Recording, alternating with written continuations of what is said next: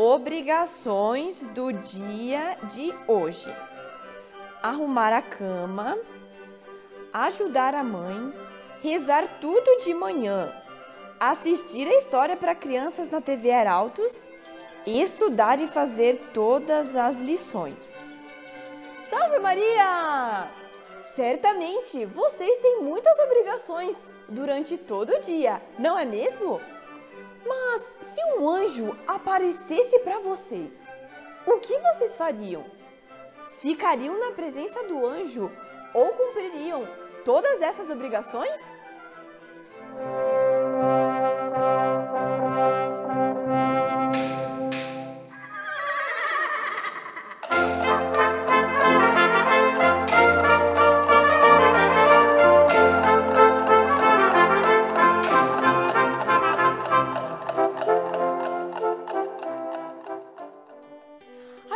Joana vivia no mosteiro que ficava no centro da cidade. E uma das coisas que ela mais gostava de fazer era passear pelos jardins, pois o colorido das flores a fazia imaginar como seria o colorido das asas do seu anjo da guarda.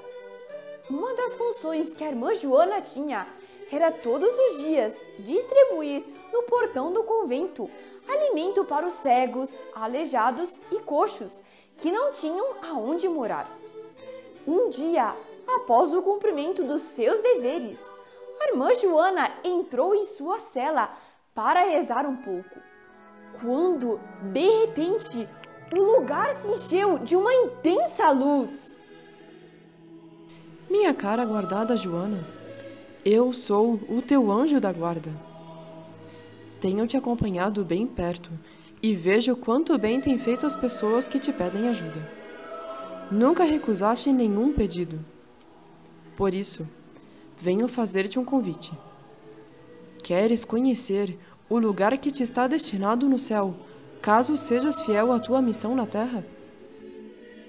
A irmã Joana ficou tão extasiada com a visão que não conseguia caber em si de tanto contentamento e mal conseguia responder o que o anjo lhe perguntava.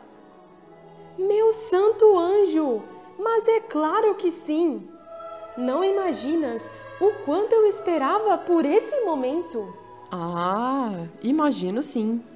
Fui eu quem pus esse desejo em tua alma. Vem, segure minha mão. De repente, irmã Joana escuta uma voz que vinha do lado de fora do mosteiro. Irmã Joana, por favor, preciso de alimento. Mas o horário de distribuir alimentos já passou. E se eu for ajudar essa pobre senhora, pode ser que nunca mais veja o meu anjo da guarda e o meu lugar no céu. Irmã Joana, me dê um pouco de comida. Tende misericórdia e não me deixe morrer de fome. E agora? O que fazer? Virar as costas para o anjo? Ou permanecer ali?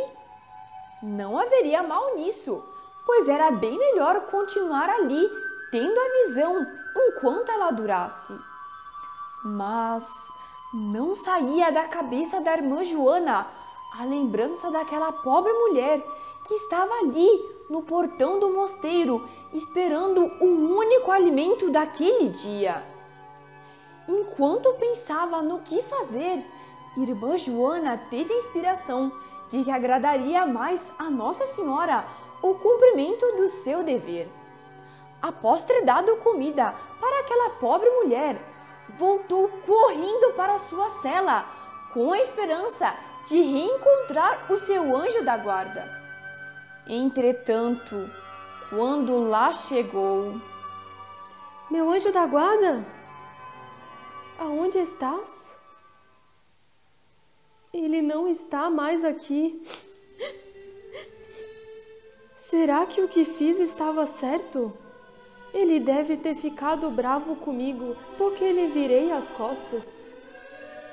Enquanto pensava nisto, inexplicavelmente, irmã Joana sentiu uma paz interior e percebeu que estava sendo levada para outro lugar. Fechou os olhos e rezou ao seu anjo da guarda, pedindo que ele a protegesse.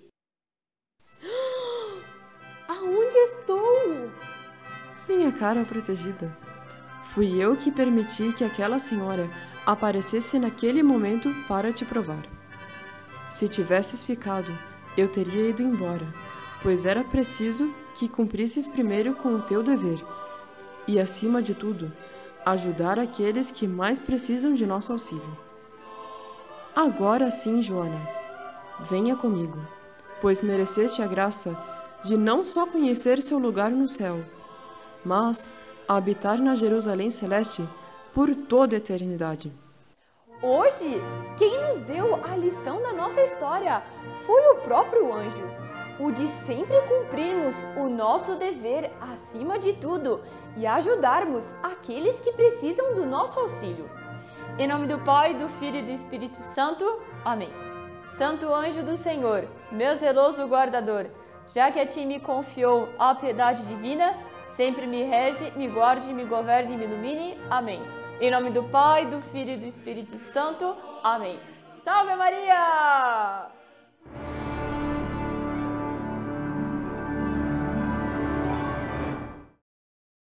Se você gostou desse vídeo, deixe seu like e não se esqueça de se inscrever no canal e ativar as notificações para não perder nenhum de nossos vídeos. Comente e compartilhe com seus amigos.